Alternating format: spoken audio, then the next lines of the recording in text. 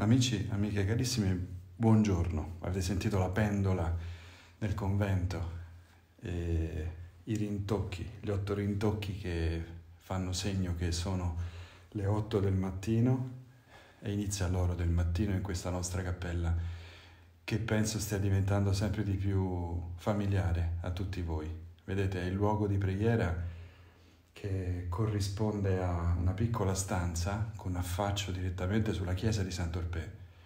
E in questa cappellina tradizionalmente eh, i confratelli anziani, quelli ammalati, che avevano la stanza a questo piano della clausura, accedevano direttamente all'adorazione, alla preghiera personale, stando eh, qui senza dover scendere in chiesa. Quindi in un modo molto riservato, molto umile, potevano pregare per tutto il tempo che volevano in questo spazio. Eh, la realtà è che questa cappellina è veramente molto piccola, però tanti studenti e alcuni amici che sono venuti prima di questo lockdown sono entrati qua e hanno beneficiato di uno spazio veramente intimo e silenzioso di preghiera. Penso che si noti questo. Qualcuno dice che veramente questa immagine, soprattutto questo tabernacolo a forma di tenda, è particolarmente eh, bello. Eh, è un simbolo fortissimo della Chiesa in uscita e non c'è modo migliore per celebrarlo che appunto adorare un po' dinanzi a questo piccolo segno. E in effetti la Chiesa è veramente uscita perché come alcuni documenti della Chiesa del Concilio eh, suggerivano, eh, bisognava valorizzare le, le, piccole chiese domestiche, quelle che sono le vostre case, le, le officine, i luoghi di lavoro, così difficili da percepire come luoghi sacri, cioè dove Dio possa accadere, dove Dio possa raggiungervi. E, così è invece, perché in questo modo anche questa piccola, piccola parola, questa icona, eh, Gesù dentro un tabernacolo a forma di tenda vi raggiunge nelle vostre case, santifica gli spazi quotidiani, li rende sacri. Allora iniziamo questo momento nel nome del Padre, del Figlio e dello Spirito Santo. Amen. Il Vangelo di oggi è bellissimo. Siamo al terzo capitolo del Vangelo secondo Giovanni. L'incontro tra Gesù e Nicodemo di notte. In quel tempo Gesù disse a Nicodemo, In verità ti dico, dovete rinascere dall'alto. Il vento soffia dove vuole e ne senti la voce, ma non sai di dove viene e dove va. Così è di chiunque è nato dallo Spirito. Replicò Nicodemo, come può accadere questo? Gli rispose Gesù, tu sei maestro in Israele e non sai queste cose?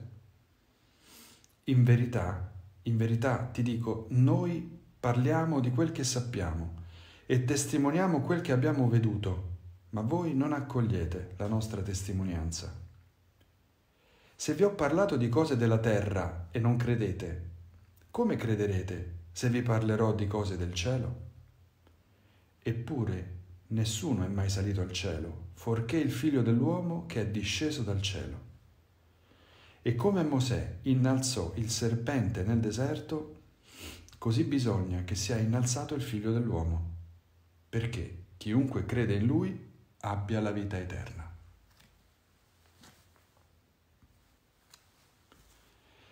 Parola del Signore. Lode a te, o Cristo. Ecco, vedete, abbiamo ascoltato una seconda parte dell'incontro tra Gesù e Nicodemo.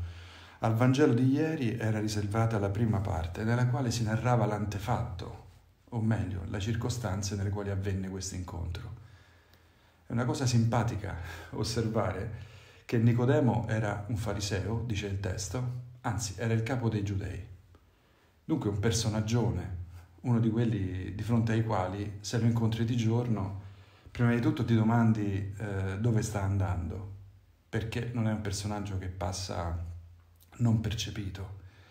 E soprattutto noti come è vestito, eh, con tutta la sua nobiltà, la sua eleganza, eh, un'apparenza nobile, e, ed è una persona che ti domandi anche, spero di poterlo salutare, uno famoso insomma, al quale chiedere l'autografo, via.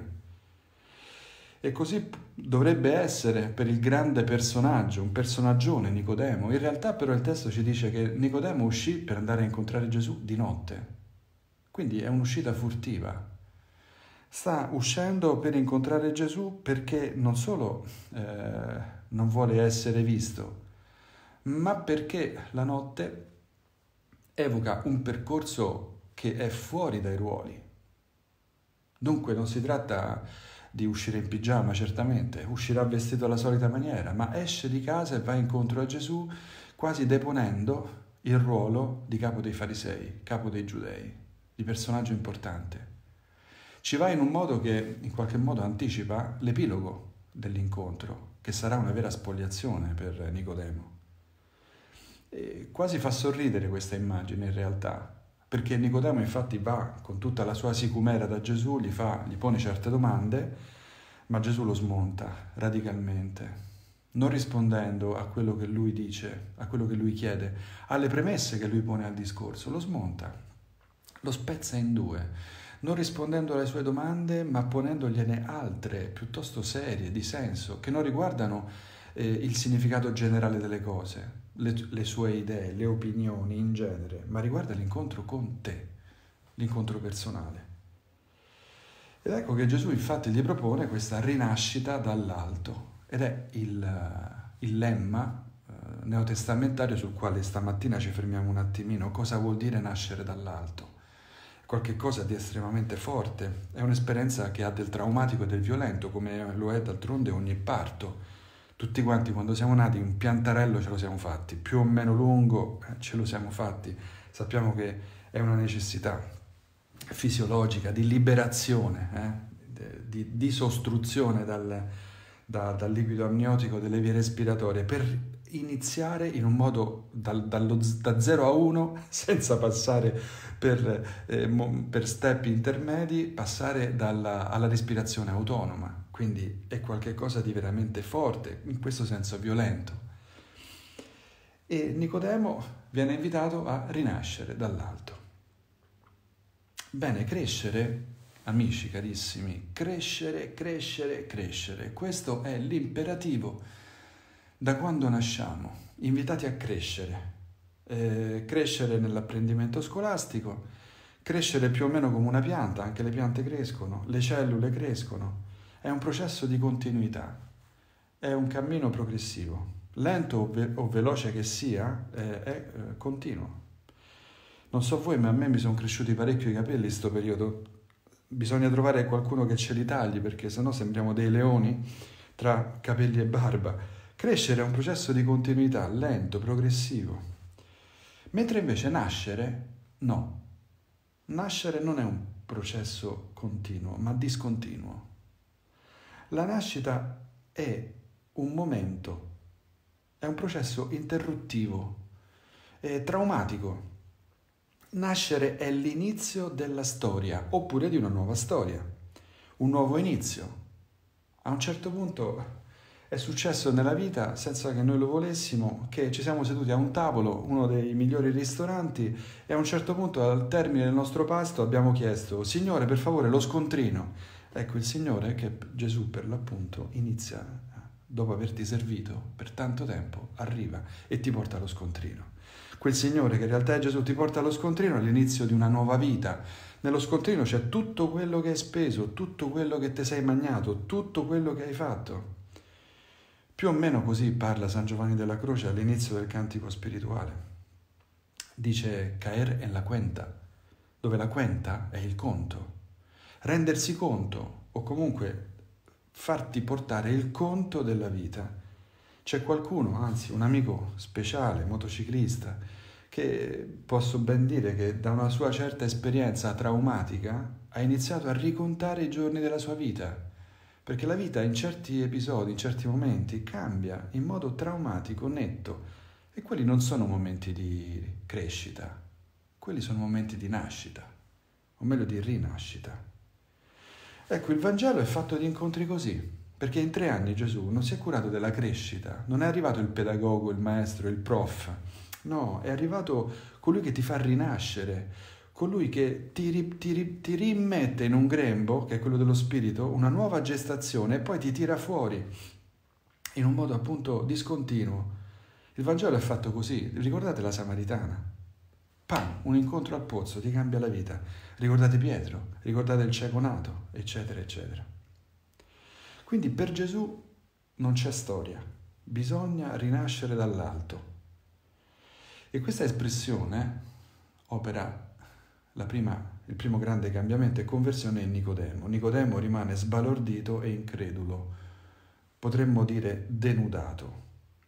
Nicodemo è uno appunto che si alza di notte, eh, quindi certamente c'ha un attimino il neurone offuscato, anche a quest'ora di mattina non tutti stiamo proprio bene bene bene, però dopo una bella dose di caffè iniziamo a carburare ma Nicodemo ancora sta veramente insonnolito perché fraintende completamente e chiede ma come può uno rientrare nel grembo di sua madre quando è adulto? Ma per carità di Dio, già uscire fuori di 4 kg dal sedile del parto, dal, dal grembo della madre, già la fai soffrire abbastanza, figurati quando sei adulto. Quindi l'immagine si fa grottesca, fa sorridere. Nicodemo non ci ha capito niente, sta ancora a dormire. Non è nelle corde di nessuno ripensarsi, rinascere in un altro modo. Perché vorrebbe dire essere capaci di cambiare lo zero ortogonale, cambiare i punti di riferimento, cambiare grafico. Ascisse ordinate cambiano completamente le modalità di conteggio. Ripensarsi, cioè rinascere, è impossibile agli uomini, è possibile solo a Dio. Tante volte noi diciamo degli artisti, loro sì che sono capaci di rompere gli schemi, ma la realtà è che alla maggioranza degli uomini questa abilità creativa di pensarsi fuori dal proprio contesto di nascita, dal proprio contesto culturale è impossibile. L'esperienza della rinascita vuol dire azzerare i conti precedenti? Per nulla. La rinascita non comporta nell'adulto una perdita della memoria, anche perché c'è tanta storia eh, fruibile, tanti contenuti importanti che non si possono archiviare, che vanno ripresi. È una memoria eh, alla quale bisogna attingere costantemente. Non si possono azzerare i conti precedenti. Bisogna portarne una memoria, però non colpevolizzante, una memoria grata. La rinascita non è oblio del passato, non ha nemmeno una reincarnazione o qualcosa del genere. Nemmeno cambiamento dei connotati. Rimani tu, rimani tu, abbastanza riconoscibile, forse con qualche ruga in più, ma rughe che costano un miglioramento della tua vita, una maturazione, come un buon formaggio. E non è nemmeno un rientrare, ovviamente, nel grembo di una madre o ritrovare gli elementi estranei alla tua vita che ti sono stati consegnati in quel grembo, elementi traumatici. Non è solo ecco, un cammino di terapia riabilitativa. Rinascere dall'alto, ecco la chiave. Rinascere dall'alto. E dall'alto con Gesù che cosa vuol dire? Ma innanzitutto fisicamente provato. È fisicamente provato che dall'alto la prospettiva è migliore come sulla cima di una montagna. Già sogniamo le vacanze sull'Appennino, sul Gran Sasso, sulle Dolomiti, sulle più belle montagne italiane, che quest'estate forse riusciremo chissà a valorizzare il nostro turismo interno. Sulla cima della montagna, ma anche la prospettiva dall'alto, il mondo dal satellite, meraviglioso. Abbracciare l'intera Terra con un solo sguardo, come i nostri astronauti. Oppure come la Terra dalla Luna, ricordate quelle immagini? Per chi è nato come me nel 69 non può non ricordare che le nostre madri ci tenevano nella pancia o ci tenevano in braccio e ci allattavano mentre guardavano le stupende immagini dell'allunaggio. Da quel momento in poi si poteva dire che l'uomo non solo a terra, ma a luna pone i suoi piedi da un'altra parte, dalla quale su una palla, un'altra palla del nostro sistema solare, dalla quale si vede la Terra piccolina, la si abbraccia con un semplice colpo d'occhio, la si deve mettere a fuoco per quanto è lontana. Quindi dall'alto vuol dire da una prospettiva migliore e soprattutto da una prospettiva altra, non solo alta, anche altra rispetto alla solita. Una prospettiva che suggerisce anche un distacco per un giusto discernimento, perché vedere le cose dall'alto vuol dire vederle meglio, vuol dire poterle separare e non stare confusi con gli oggetti, con le cose, con le opinioni, con le idee. Suggerisce un silenzio che matura questo distacco, che lo rende possibile. E suggerisce anche un altro tipo di visione dall'alto e dall'altro, che è per esempio affidarsi al giudizio altro, al giudizio di un altro che mi ama. Qui c'è tutta la sapienza della Chiesa che domanda di essere accompagnati, soprattutto in certe tappe della vita, da un buon padre spirituale, da una buona madre spirituale, per un discernimento serio, che sia una persona che ti ama, che non ha alcun debito e, alcun, e non vanta alcun credito con te. Domandare a questa persona, ma tu come mi vedi? Domandona pazzesca, ma tu come mi vedi? Domandona che rischia di gettarci nel panico, soprattutto quando tra amici lo facciamo ad un amico che sappiamo che non ha nulla da perdere, dotato del grande dono della parresia, della franchezza, che ci manda volentieri a quel paese nel primo momento possibile, in un attimo, come una fucilata, oppure la domandona che facciamo alla moglie o al marito a un certo punto della vita, senti, ma tu come mi vedi? Cos'è che secondo te dovrei rivedere del mio modo di essere e di fare con i figli, con te, sul lavoro? Domandona che non facciamo quasi mai, eh? Perché rischia di gettarci nel panico. Cioè noi non la facciamo, diciamoci la verità, per proseguire come sempre si è fatto. Per favore non spostare i pezzi sulla scacchiera perché sennò si perde sicuro. Questa è la tattica, è una tattica, certo, la tattica dello struzzo. E, ehm, dunque questo vedere dall'alto, prospettiva dall'alto, vuol dire anche eh, riuscire a vincere questo demone della strutturazione e della rigidità che ci rende impermeabili alla parola di verità, allo spirito che vuole di noi persone nuove, più libere, più felici, più realizzate, ma non per quello che hanno, per quello che sono, insieme a tutto il carico di fragilità e di povertà, di ferite che si portano dietro. Mi viene in mente, eh, ricordate, eh, un hashtag che era Stay, stay Shalla, eh? molto, non so se è romano, ma certamente diffonde anche là. Ci hanno fatto anche un film, mi sembra. Sta, sta di fatto che io lancerei un altro hashtag, Stay Morbido, per favore Stay morbid, lascia perdere la rigidità, non vale la pena. È un muro contro muro e non è il muro delle altre persone, è il muro dell'esistenza, della realtà. La rigidità non permette alcuna adattabilità, quindi stay morbido. Gesù suggerisce cosa sia rinascere dall'alto, perché poi rinascere dall'alto ancora non abbiamo capito cosa significa e non vogliamo mettercelo noi questo messaggio ancora una volta torniamo al Vangelo, al Vangelo di oggi che abbiamo ascoltato. Rinascere dall'alto vuol dire guardare in qualche modo ad un luogo alto che ci osserva, prima di osservare dall'alto, essere osservati dall'alto. Ed ecco che Gesù suggerisce un'immagine stranissima al povero Nicodemo, che già stava completamente resettato dopo l'alzataccia mattutina, anzi notturna, e forse si è fatto mattino mentre parlano. E Gesù gli dice senti bisogna che il figlio dell'uomo eh, eh, riprendo il testo che abbiamo qua dinanzi gli parla della, dell'immagine del figlio dell'uomo che è eh, salito al cielo ed è disceso dal cielo. Gesù sta parlando di lui quando già la Pasqua sarà avvenuta. E poi prende questa immagine che è quella di Mosè come Mosè innalzò il serpente nel deserto, così bisogna che sia innalzato il figlio dell'uomo, perché chiunque crede in lui abbia la vita eterna.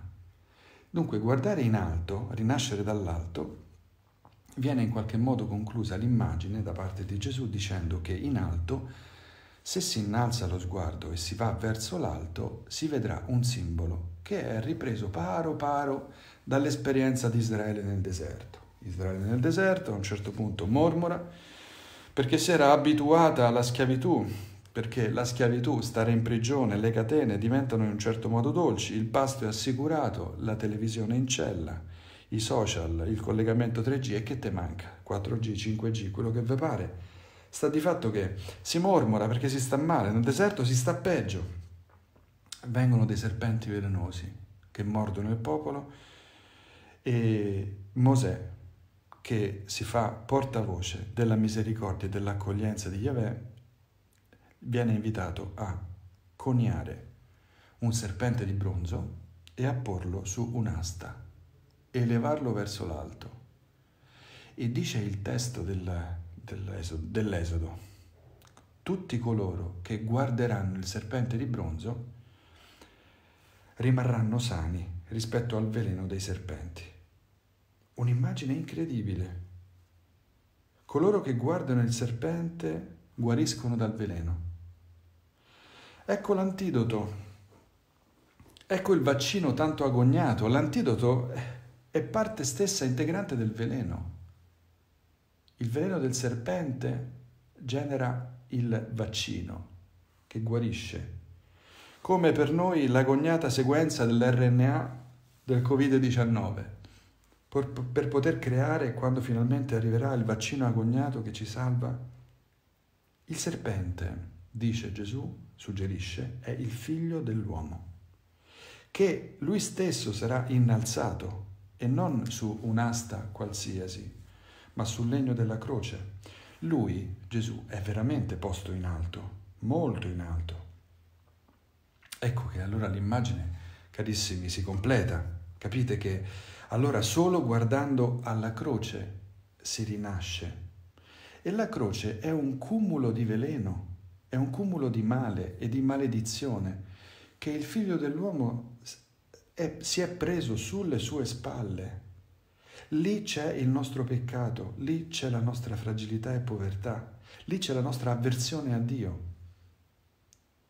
Noi siamo in basso e siamo invitati a guardare in alto, a nobilitare lo sguardo, ad alzare la mira, guardando colui che sta in alto per essere salvati non dal male generico, ma da un male specifico che nutriamo in noi stessi. Ecco, questo è questo guardare in alto è un po' il lemma che ci eh, eh, scolpisce la pietra, la tavola delle nostre giornate. Oggi, nei prossimi giorni, per una settimana. Questo Vangelo ha qualcosa di meraviglioso, capite? E se dobbiamo maturare qualche cosa in questi giorni è esattamente ritornare a guardare il crocifisso risorto, l'immagine della nostra salvezza, la croce, in un modo più fisso, più costante. Ma per farlo io vi suggerirei un testo, o almeno ve lo leggo subito, perché non tutti hanno a disposizione eh, le opere di Santa Teresa di Gesù. C'è un testo meraviglioso che parla di preghiera, come pregare. E esattamente elevando lo sguardo a colui che è stato trafitto, a Gesù.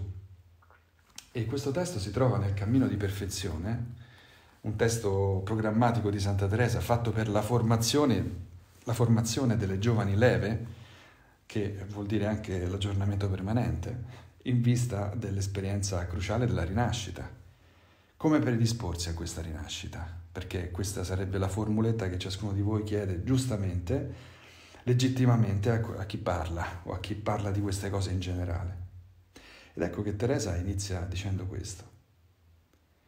Carissimi, non vi chiedo di concentrarvi tutti su di lui, su Gesù, formando alti e magnifici concetti per applicare la mente a profonde e sublimi considerazioni. Vi chiedo solo che lo guardiate. Chi vi può impedire di volgere su di lui gli occhi della vostra anima, sia pure per un istante, se non potete di più? Ma è mai possibile che potendo fermarvi con lo sguardo sugli oggetti più ributtanti, non siate poi capaci di contemplare la bellezza più perfetta che si possa immaginare? Sappiate intanto figli miei, che questo vostro sposo, Gesù, non vi perde mai di vista. Ne sono bastate perché egli cessasse di guardarvi le mille brutture, i mille peccati che gli avete fatto soffrire. E ora, non è forse buona cosa che togliendo gli occhi dagli oggetti esterni che vi distraggono, li fissiate un pochino su di lui? Ricordate ciò che dice alla sposa nel Cantico dei Cantici. Egli non aspetta che un vostro sguardo per subito mostrarvisi come voi lo desiderate. Egli stima tanto questo sguardo che per averlo non lascia nulla di intentato. Vedendolo in quello stato, crocifisso, il vostro cuore si intenerirà e allora non solo lo guarderete, ma vi, vi verrà pure di parlargli, dicendogli non con preghiere studiate, ma con parole che sgorgano dal cuore. O Signore, Signore del mondo, vero sposo della mia anima, Maestro, come mai vi siete ridotto in questo stato? Signore mio e mio bene, possibile che vogliate ammettere alla vostra compagnia una poverella come me? Eppure scorgo nelle vostre sembianze che nel vedermi vicina a voi, voi vi sentite un po' consolato. Possibile, Signore, che i vostri angeli vi abbandonino e che neppure vostro Padre vi consoli. Se è vero, mio Dio, che voi sopportate tutto per me, che cos'è il poco che io sopporto per voi? Perché mi lamento? Signore, che confusione per me contemplarvi in questo stato. D'ora innanzi, Signore, vorrei imitarvi in qualche cosa e per fare questo non solo voglio sopportare le pene, i travagli, le difficoltà a cui oggi andrò soggetta, ma ritenerli addirittura come tesori preziosi. Camminiamo insieme, Signore. Io verrò dovunque voi andrete e per qualunque luogo passerete, passerò pure io. Ecco, carissimi amici, praticamente terminiamo con questo testo meraviglioso di Santa Teresa che abbiamo appena ascoltato. Quando Teresa scrive camminiamo insieme Signore, questo è un motto teresiano meraviglioso. Juntos andemos, Señor. Juntos andemos. Camminiamo insieme, come un amico stretto da stringersi accanto al fianco, non intimo nel cuore, ma accanto, che allo stesso passo simula la tua camminata e ti segue con, fede, con fedeltà. Un invito vi faccio prima, di, prima della benedizione finale.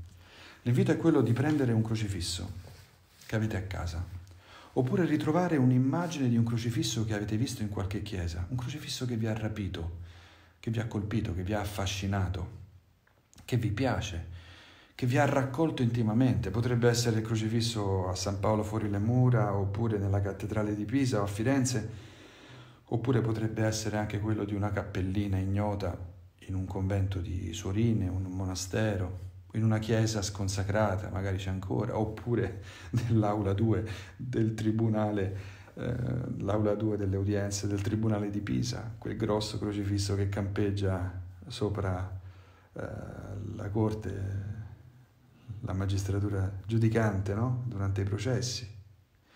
Crocifissi posti in luoghi strani, misteriosi, esterni alle chiese, nelle edicole, nelle strade. Non lo so, qualche cosa vi sarà rimasto impresso. Ai più giovani forse il crocifisso di San Damiano. Ad Assisti, nelle basiliche superiore e inferiore, prendete quel crocifisso e quell'immagine, mettetevela davanti agli occhi e state lì dieci minuti con lo sguardo fisso, senza batter palpebra, a guardare Gesù. Per rinascere dall'alto abbiamo bisogno di guardare intensamente colui che sta in alto.